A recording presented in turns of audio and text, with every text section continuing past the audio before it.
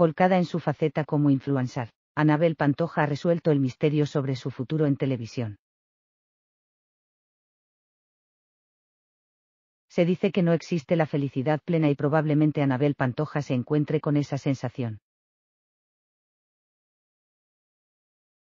Poco a poco, la sobrina de Isabel Pantoja va cumpliendo sus sueños pero en el camino empiezan a hacerse más notables las ausencias.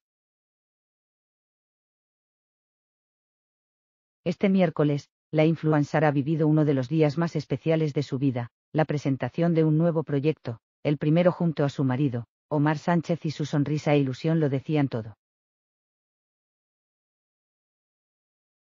Desde que decidiera abandonar Sálvame hace aproximadamente dos meses para volcarse en los preparativos de su boda, Anabel Pantoja se ha centrado en su faceta como influencer y a juzgar por el exitazo del evento no le va nada mal, me estoy buscando la vida dignamente, contaba con orgullo.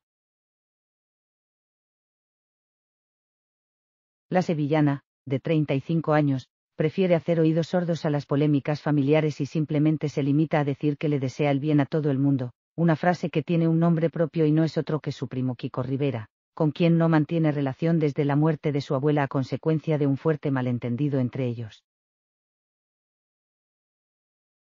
Aunque su marcha de la televisión fue temporal y sus compañeros no dejan de reclamarla desde el plató, por el momento Anabel no tiene intención de recuperar su silla en Sálvame y no ha dudado en explicar por qué, para trabajar allí hay que ser muy valiente, ha dicho.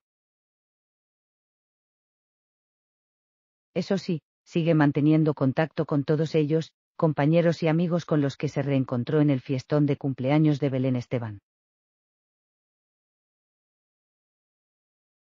Como está, en quien se ha inspirado para la nueva colección de joyas, tiene previsto irse de luna de miel, ¿qué piensa de su supuesto hermano secreto?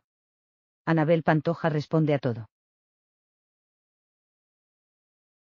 Dale al play.